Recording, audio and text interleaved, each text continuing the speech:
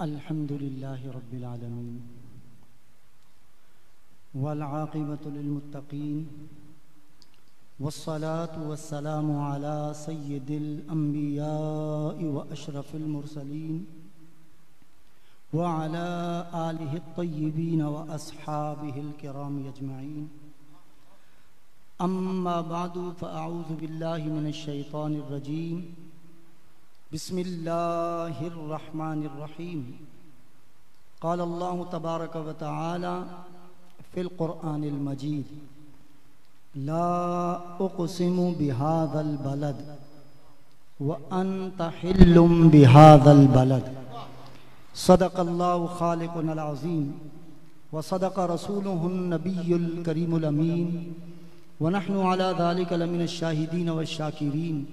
व नहनु अला ज़ालिका लमिनश शाहिदीन व शाकिरीन वल्हम्दुलिल्लाहि रब्बिल आलमीन क़ाल अल्लाहु अज़्ज़ व जल फ़ी शान हबीबिहिल करीम रऊफ़ुर रहीम इन्नल्लाह व मलाइकतहु युसल्लूना अलन नबी या अय्युहल्लज़ीना आमनू सल्लु अलैहि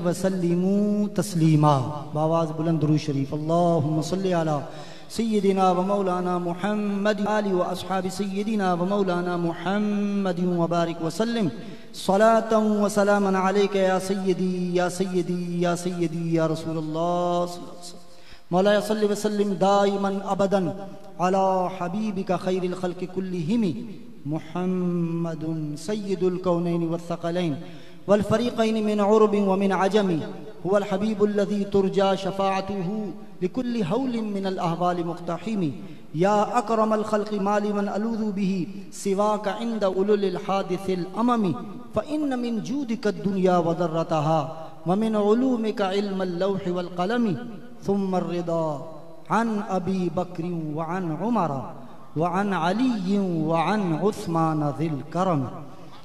शाह हस्त हुसैन पादशाह हस्त हुसैन दी हस्त हुसैन दी पना हस्त हुसैन, सरदाद नदाद दस्त दर दस्त यजीद हक्का के बिनाए ला इलाहा हस्त हुसैन। कत्ले हुसैन असल में मरगे यजीद है, इस्लाम ज़िंदा होता है। हर करबला के बाद। काबिल सद एहतराम सद तकरीम, सदर मजलिस। हज़रत पीर सैयद शाह असदुल्ला साहब जुनेदी, दामद बरकातुहमलिया मुआज़ मोहतरम सामीन कराम वजीज़ान गिरामी कदर। असलकम वरहमतुल्लाहि वबरकातुहू। अल्लाह सुबहान व का करोड़ हा शुक्र और उसका एहसान है कि उस ज़ात पाक ने हम सबको नबी अकरम नूर मुजस्सम सल्लल्लाहु ताला अलैहि वसल्लम की उम्मत में पैदा फरमाया और अपने हबीब करीम सल्लल्लाहु अलैहि वसल्लम के सदक़ पाक से ज़िक्र हुसैन सलाम की इस पाक और सईद महफिल में शिरकत की सआदत नसीब फरमाई। आबाब मोहतरम मुझसे ज़्यादा आपको मालूम है, चूँकि शाह साहब के जेर सरपरस्ती, ये तसलसल के साथ ये महाफिल सिर्फ़ इस मुहर्रम उलहराम में नहीं, इससे पहले भी ये हो रहे थे। आस्थान जुनेदिया के जेर अहतमाम शाह साहब की जेर सरपरस्ती। तो ये भी उसी सिलसिले की एक कड़ी है और मुहर्रम हराम के हवाले से हज़रत सैदना इमाम हुसैन रदी अल्लाह तसलाम के ज़िक्र की इस महफिल में हम और आप शरीक हैं। ठीक है। और असल में साफ़ ज़ाहिर है, ये शाह साहब की जेर सरपरस्ती होता है, आप भी जानते हैं कि ये जो मजहबी महाफिल होते हैं, इनके बुनियादी मकसूद दो होते हैं। एक इसलाह अकीदा और दूसरा इसलाह अहवाल आमाल, ठीक है? और यही दो मकसूद होते हैं इन मजहबी महाफिल के और यही बुनियाद इन महाफिल की भी है। अगर हम ये दो मकसूद के उसूल के लिए नहीं आते तो हमारा आना बेसूद है।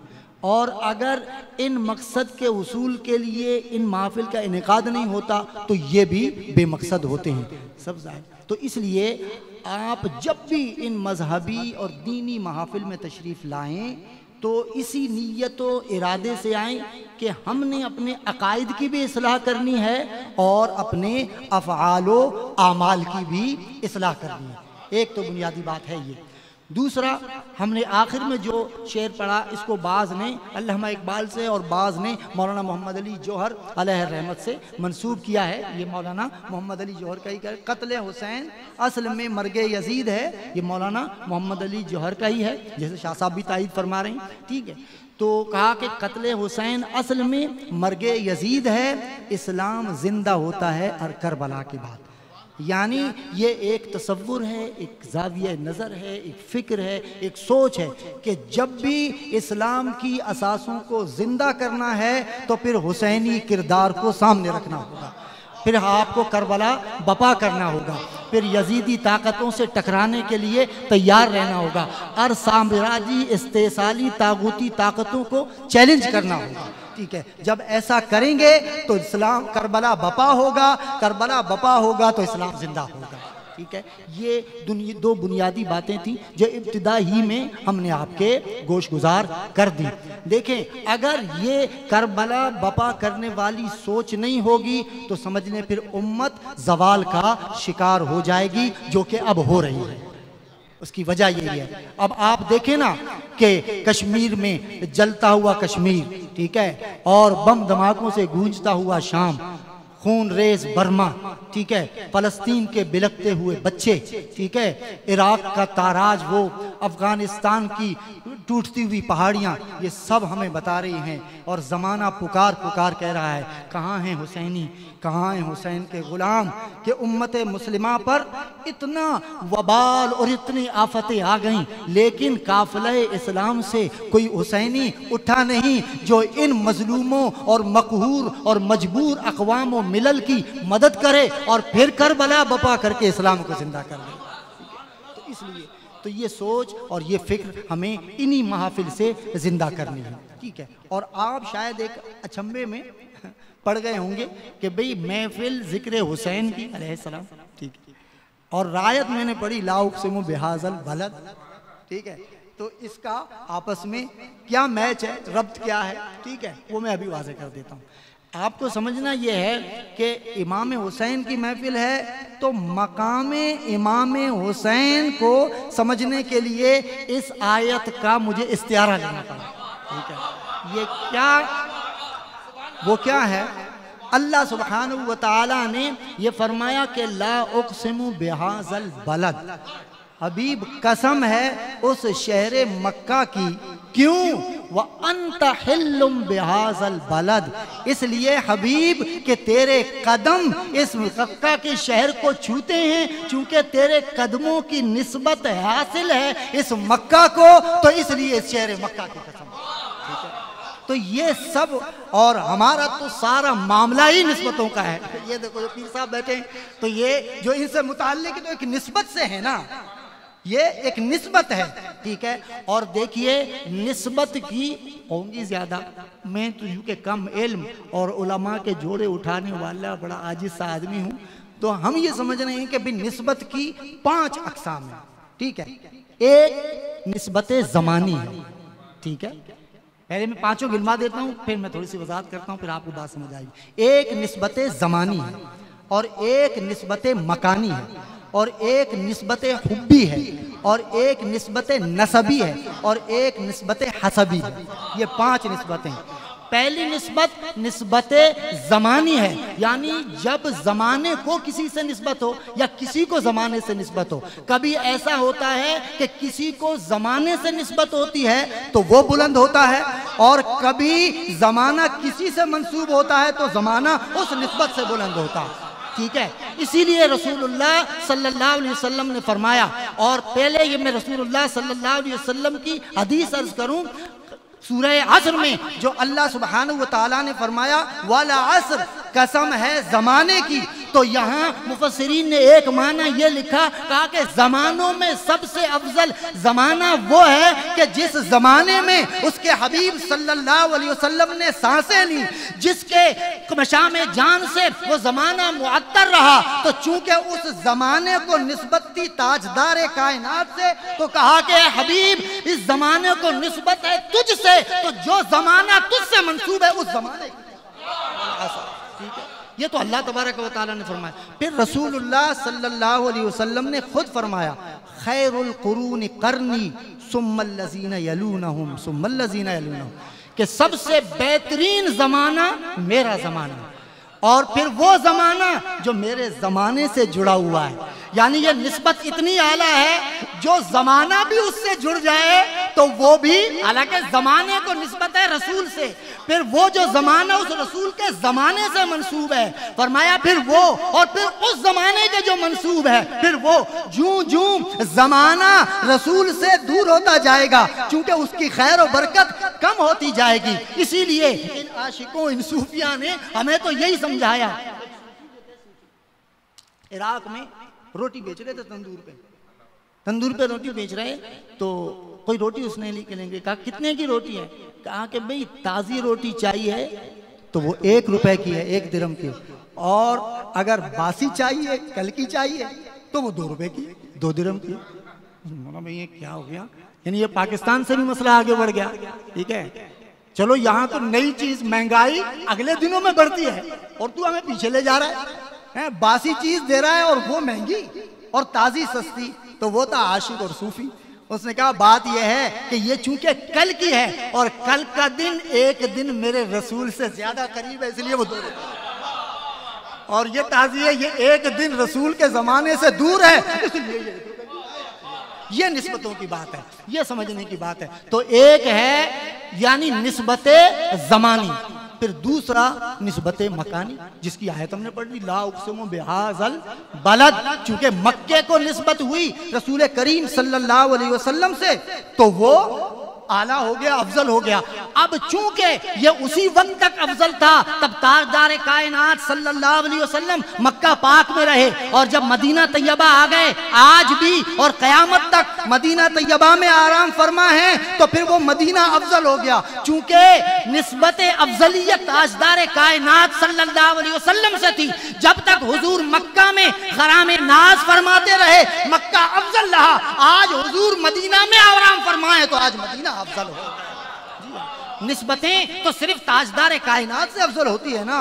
तो देखिए, और और समझना चाहें तो इन सफ़ा वल मरवत मिन शाइरिल्लाह भाई, सफ़ा मरवा, ये पहाड़ियाँ अल्लाह की निशानियाँ हैं। पहाड़ियाँ तो बेशुमार है भाई मक्का पाक में। ये दो क्यों अफजल हैं? इनको निस्बत है कदमैन हाजरा अलैहिस्सलाम से। तो वो अफजल हो गए। मकाम इब्राहिम को कहा वह तखीदू मैं मकाम इब्राहिम मुसल्ला। इस मकाम इब्राहिम को अपनी सजदा गाह बनाओ। भाई, क्यों बनाओ? कहा, इसलिए कि मेरे इब्राहिम के कदम लगे। तो जो निशान कदम इब्राहिम के हो, वो मुसल्ला हो। और सिहाबी इसीलिए ये जानते थे। नाबीना सिहाबी थे, निगाह कमज़ोर हो गई। कहा, या रसूल अल्लाह आप मेरे घर में आकर एक मरतबा दो रकात नमाज़ पढ़ा लीजिए। आप तशरीफ़ ले जाए। जहाँ आपके कदम होंगे, फिर मैं वहाँ पेशानी टिकाऊँगा और आपके कदमों को अपने सजदा बना लूँगा। इसलिए कि यहाँ अब आपके कदम लग गए तो इसलिए इस पर भी कोई एतराज़ नहीं। तो नस्बत मकानी की ये अमसाल मैंने आपके गोशगुजार कर दी। फिर है नस्बत खुबी यानी मोहब्बत से किसी से नस्बत हो। और अगर ये मोहब्बत रसूलुल्लाह सल्लल्लाहु अलैहि वसल्लम से हो अहले बैत अतहार से हो, असहाब कराम से हो तो ये मोहब्बत चूँकि चाहे अहले बैत से हो या असहाब कराम से, इसकी नस्बत मोहब्बत भी चूँकि अलैहि वसल्लम से। वो हुजूर से प्यार करते थे, उन पर कुर्बान होते थे तो उनसे मोहब्बत भी ऐसे ही है जैसे हुजूर से मोहब्बत की जा रही है तो वजह फजीलत नस्बत हब्बी है। और हुजूर सलाम से मोहब्बत, बुखारी शरीफ की सही हदीस है। एक शख्स कुफार की तरफ़ से लड़ रहा था, कुफार की तरफ़ से। कुफार की तरफ़ से लड़ रहा था। उसने घोड़े पर बैठकर एड़ लगाई, घोड़े को आगे बढ़ाया, कहा, ए मोहम्मद सल्लल्लाहु अलैहि वसल्लम, अगर मैं आपका कलमा पढ़ लूँ तो मुझे क्या मिलेगा? तो हुजूर सलाम ने फरमाया, भाई, तुझे जन्नत मिलेगी। तुझे जन्नत मिलेगी। कहा कि अच्छा तो मैं आपकी खातिर आपके रब पर ईमान लाता हूँ। उसने कलमा पढ़ा, मुसलमान हुआ। घोड़े को एड़ लगाई ताकि रसूलुल्लाह सल्लल्लाहु अलैहि वसल्लम की कदम बोसी करे। उधर से जब कुफार ने देखा, ये हमारे लश्कर से निकलकर उस तरफ़ जा रहा है, उन्होंने तीर चलाया, उसको तीर पेवस्त हो गया, वहीं गिर के शहीद हो गया। अभी देखो, उसने कलमा ही पढ़ा है और सिर्फ़ हुजूर को देखा है और हुजूर की मोहब्बत का पहला बीज अपने दिल में बोया है। और हुजूर सलाम ने उसके गिरते ही कहा कि, ए मैदान जंग के हाजरीन अब अगर किसी को जन्नती अभी देखना है तो इस मरने वाले को। न नमाज़, न रोज़ा, न हज, न जक़ात, न तहजद गुजारी, न सजदा रेजी, न शब जिंदादारी, ये सब कुछ था। तो इसी जिमन में बस इशारतन में ये अर्ज़ कर देता हूँ। तो ये मंजर करबला में उस वक़्त दिखा कि जब तक और बिन यजीद रियाही उस तरफ़ खड़ा था तो वो बदबख्तों में था। बस घोड़े की एड़ लगानी थी, बस सफ़े बदली और इधर मोहब्बत का बीज बोया इमाम हुसैन सलाम का तो वहीं से जन्नत का सर्टिफिकेट इमाम हुसैन सलाम ने उनको अता फरमा दिया तो ये सब मोहब्बतों की बात है। तो नस्बत हुबी जिसे हासिल हो तो ये नस्बत भी बड़ी आला और अफजल है। फिर है नस्बत नसबी, यानी खूनी नस्बत खूनी नस्बत। हजूर सलाम ने फरमाया कि कयामत के दिन सारे अनसाब मिट जाएँगे, ख़त्म हो जाएँगे, टूट जाएँगे। लेकिन जो मेरा नसब है, जो मेरा खूनी रिश्ता है, वो क़यामत के दिन में कायम दायम रहेगा। तो ये नस्बत नसबी है। इसीलिए कहते हैं ना कि जो सादात कराम हैं, इनकी नस्बत ताजदार कायनात की नसब से है। हालाँकि उसूलन, ये चलो, ये ज़िमन में अर्ज़ कर देता हूँ। बाज़ लोग ये कहते हैं कि। भाई, रसूलुल्लाह सल्लल्लाहु अलैहि वसल्लम की औलाद नरीना ज़िंदा नहीं रही। और दुनिया का कायदा तो ये है, जो नसब चलता है, वो औलाद नरीना से चलता है। रसूलुल्लाह सल्लल्लाहु अलैहि वसल्लम की औलाद नरीना तो है नहीं। तो यही बात हुजूर अलैहि से किसी ईसाई ने नहीं पूछी। हुजूर अकरम सल्लल्लाहु अलैहि वसल्लम ने फरमाया कि देखो, अल्लाह बेनियाज है ना? तो अल्लाह ने फरमाया, लम यलिद, उसकी कोई औलाद, उसकी कोई बेटा नहीं है। और मैं अल्लाह का आखिरी पैगंबर हूँ। और हर पैगंबर और हर नबी की बेटों में, औलाद में नबी ही हुए। अगर मेरी औलाद नरीना होती तो फिर उसको नबी बनाया जाता। क्योंकि मेरे बाद कोई नबी आ नहीं सकता तो अल्लाह सुबहान ने इस मेरे बेटों को ज़िंदा नहीं रखा। बाकी रहा मेरे नसब की बात। तो आस बिन वाइल ने भी यही कहा था कि जब मेरा इब्राहिम बेटा इंतकाल कर दिया, कहा कि मोहम्मद तो माजल्ला अब तर है। यानी ये नस्ल बुरीदा है, इसकी नस्ल खत्म हो गई। लेकिन अल्लाह सुबहान तला ने उस आस बिन वाइल को और दुश्मना ने रसूल को ऐसा मुँह तोड़ जवाब दिया, फरमाया, इन्ना कल कौसर। हबीब, हमने सारे खैर कसीर, देखो, ये यूँ समझ लीजिए, हमारे यहाँ उर्दू में होता है बहुत, फिर उसको और बढ़ा दें, बहुत ज़्यादा, फिर ज़्यादा फिर ज़्यादा कहते हैं, बहुत ज़्यादा, फिर कसीर, फिर अक्सर, फिर कसार, ठीक है, ये सारे। तो अल्लाह सुबहान ने अपने हबीब को बहुत नहीं दिया, ज़्यादा नहीं दिया, अजियत नहीं दिया, कसीर नहीं दिया, अक्सर नहीं दिया, कसार नहीं दिया, बल्कि बहुत को, ज़्यादा को, अजियत को, कसीर को, अक्सर को, कसार को सबको मिलाकर, कौसर बनाकर और फरमाया, अब सारी खैर कसीर, सारी भलाइयाँ, सारी नेमतें तेरी झोली में डाल दी। अब तुझे मालिक बना दिया। अब जिसने रब की नेमतें लेनी है, पहले कासिम मुस्तफ़ा के पास आए, उसे ही उसे ही नेमतें मिलेंगी। तो कहा कि बाकी रह गई बात है, अभी बस तू हमारी इबादत में लगा रहे। हमारी खातिर कुर्बानी देता रहे। इन नशानिया का हुआ अबतर। तेरे तेरे दुश्मन बेनामो निशान रहेंगे। और यही हुआ। अल्लाह सुबहान तला ने अपना नेचुरल और जो कायदा था, जो उसूल था, औलाद नरीना से चलने वाला, अल्लाह सुबहान तला ने इसको ही तब्दील फरमा दिया। और आपकी नसब को सैयद कायनात, सैयदा फातिमा जहरा सलाम से चलाकर कहा कि, ए दुश्मना ने रसूल, हम देखो अपना कायदा बदल कर अपने हबीब की बेटी से इन सादात की नसब चलाकर तुम्हें वो नसब अभी तक चल रहा है। और देखिए, लोगों ने कहा कि शायद इमाम हुसैन के तमाम औलाद को कत्ल करके, शहीद करके शायद रसूल के पूरे नसब को मिटाएँगे। लेकिन अल्लाह सुबहान तआला ने जाहिरन देखो कि वहाँ मैदान कारजार करबला में जाहिरी तौर पर जाहिरी तौर पर फतह उसकी हुई, लेकिन कोई जुर्रत नहीं कर सकता। कोई कह नहीं सकता यजीद जीत गया। यजीद जीत कर भी जलीलो रुसवा होकर हार गया और हुसैन अलैहिस्सलाम शहीद होकर भी दिलों में ज़िंदा है। और कुरान पाक की नस से ज़िंदा हैं अल्लाह तबारक ने फरमाया बल फिर फरमाया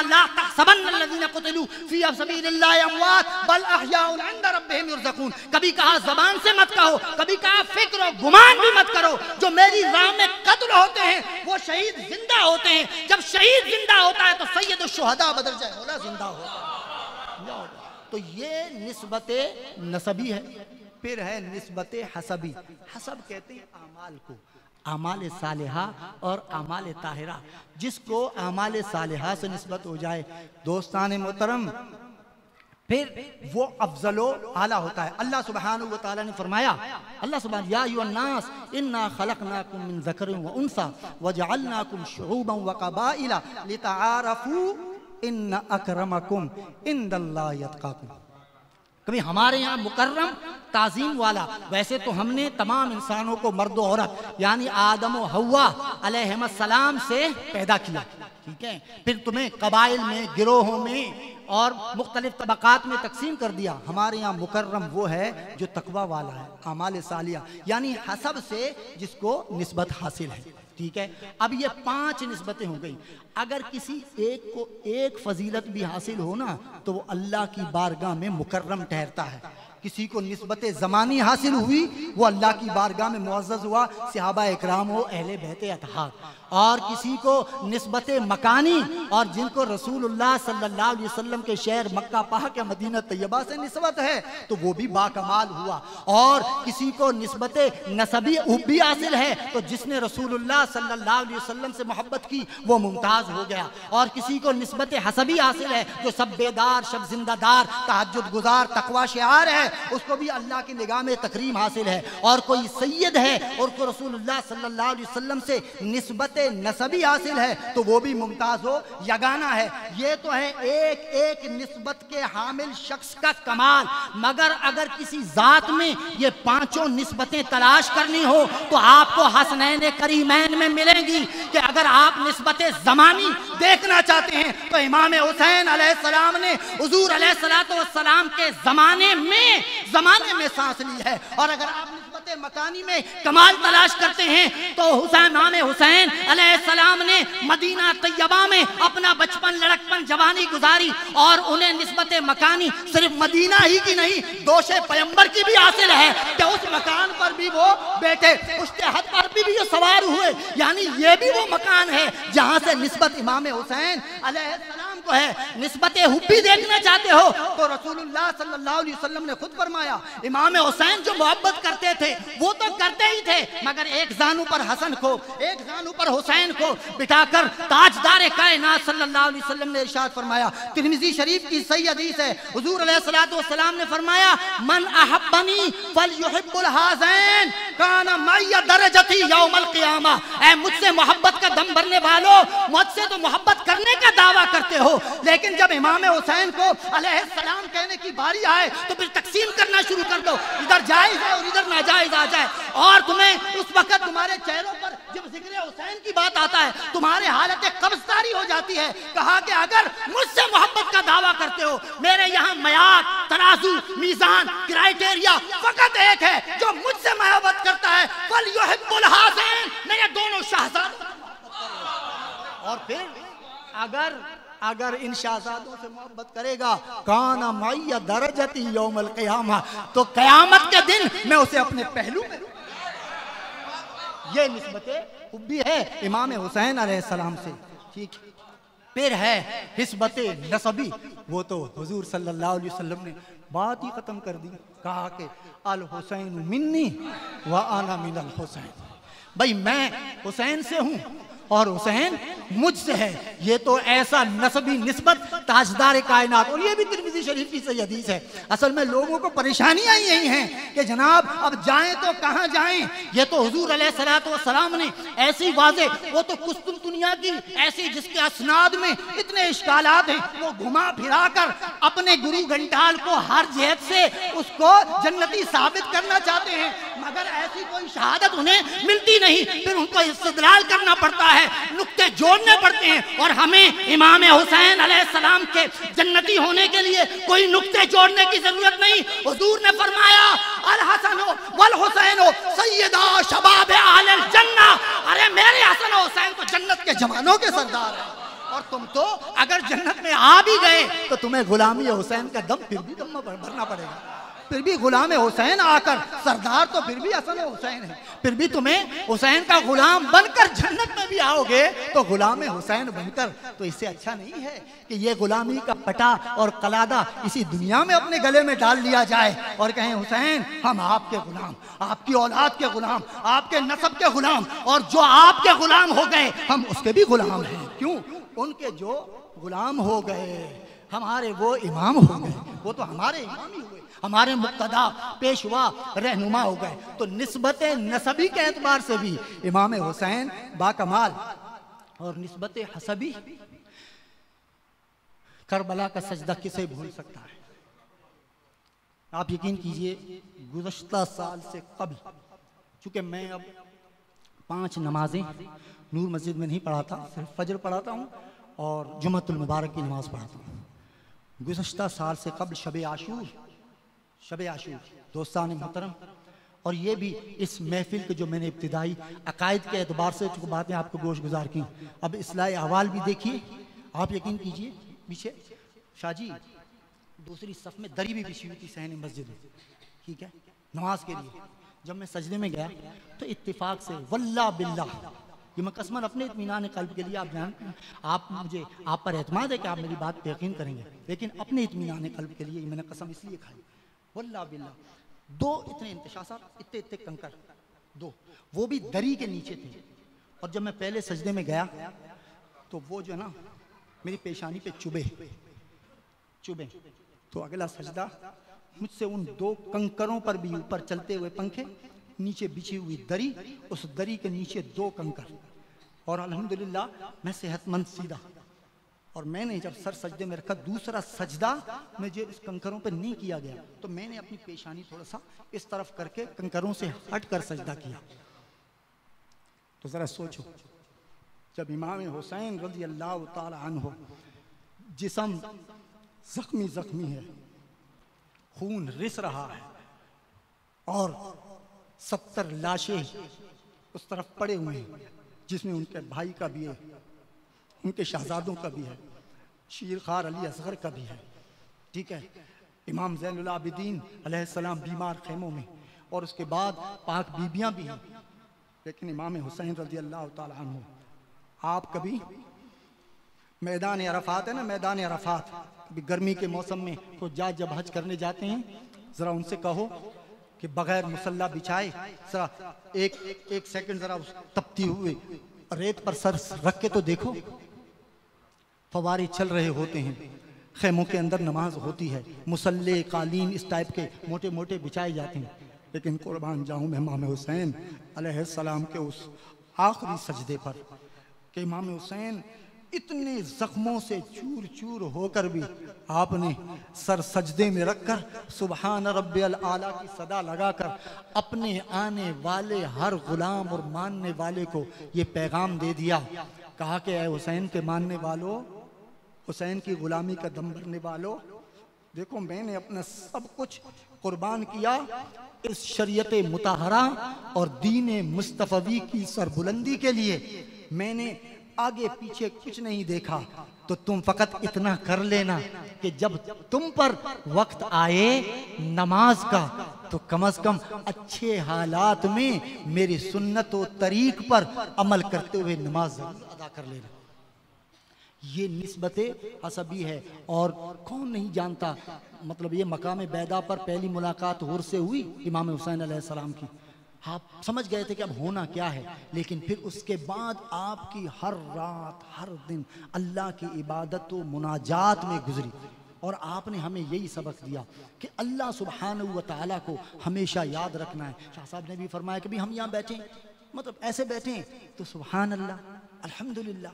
अल्लाह अकबर, ला इलाहा इल्लल्लाह। भाई बैठे ही है ना, दुरूद शरीफ। दुरूद शरीफ बैठ के पढ़ें। तो अपने इस कीमती वक्त को इस तरह ज़ाया मत करें। तो नस्बत हसबी के एतबार से भी अगर हम देखते हैं तो इमाम हुसैन सलाम में ये सिर्फ़ नस्बत हसबी नहीं, अगर किसी शख्सियत को देखनी है तो ये पाँचों नस्बतें बैक वक्त इमाम हुसैन रज़ी अल्लाह मौजूद नज़र आती है। ठीक है? तो ये हो गई नस्बत के हवाले से। अब आखिरी दो बातें मैं अर्ज़ करना चाहता हूँ। ये तो सूफी लोग भी लिख गए और बता गए, इस पर बहुत दलीलें भी मौजूद हैं, ठीक है? और आला हज़रत रहमतुल्लाह ताला ने तो लिखा भी कि भाई, अगर कोई इस इस जहत और इस जाविये से यानी बयान करे, अगर शहादत इमाम हुसैन कि जनाब वो बिल्कुल बेबस, बेकस, मजबूर थे, कुछ कर नहीं सकते थे तो ये हराम है, ठीक है? और वो एक सूफी शायर है पंजाबी का उन्होंने कहा कि कुवत हो दया ज़ोर न लाई, बैठे मन रजाई। ठीक है, दुनिया उत्तों प्यासे तुर गए, दीन दुनी दे साई। यानी दीन दुनिया के थे तो वो सरदार, लेकिन सारी कुवत, ताकत होते हुए भी और दोस्तान मोहतरम, देखो शाह साहब सूफी आदमी हैं, पीरे तरीक़त हैं। देखें, आप आखिरी अदवार के ना, आखिरी अदवार के, ये बिल्कुल अभी मतलब ये सौ साल भी नहीं हुए, ठीक है? शेख तवक्कुल अम्बालवी रहमत अपनी मस्जिद में बैठे हुए थे, वो जन्नत के हवाले से कोई हदीस बयान कर रहे थे, कहा कि भाई, जन्नत में, यानी जन्नती को इतना इम्तियाज़ हासिल होगा, इतना इम्तियाज़ हासिल होगा कि जन्नती बैठेगा और एक फल को चाहेगा। तो कहा कि वो दरख्त 500 मील के फासले पर है और उसकी ऊंचाई भी 500 साल की मुसाफत है। तो फिर वो जन्नती जब चाहेगा ना, वो फल हासिल करे तो वो फल उसको मिल जाएगा। तो वो जो मुक्तदी बैठे हुए थे, उन्होंने कहा शाहजी ये आप कह रहे हो 500 साल, जनाब, पहले तो जन्नती 500 साल चढ़े, फिर 500 साल मुसाफत को उस फल तक पहुँचे, फिर 500 साल उतरे तो 1500 साल बेचारा तो ये जन्नत को नेमत मिल रही है या उसको सजा मिल रही है?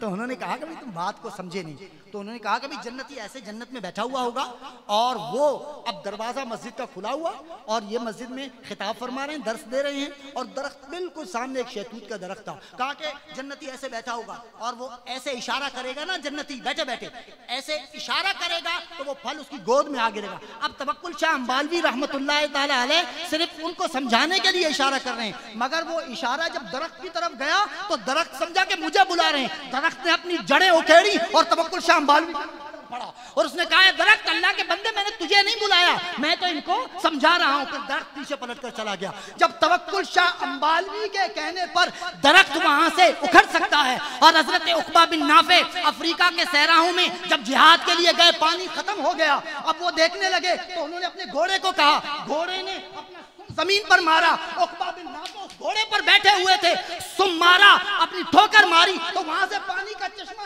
जारी हो गया। अल्लामा अहमद शर्बीनी, उनके बेटा जब आखिरी नजा के आलम में पहुँचा, और बीवी ने कहा कि मेरा मकसूद बस यही है, तुम हर वक्त अल्लाह की इबादत में मशगूल रहते हो। मेरा बेटा अगर चला गया तो मैं जीते जी मर जाऊँगी। तो कुछ करो। तो जब उन पर भी हालत नजादारी हुई तो अहमद शर्बीनी रहमत ने इसको जाम करामत में हज़रत इमाम यूसुफ निबानी रहमत ने लिखा इस अहमद के इस को।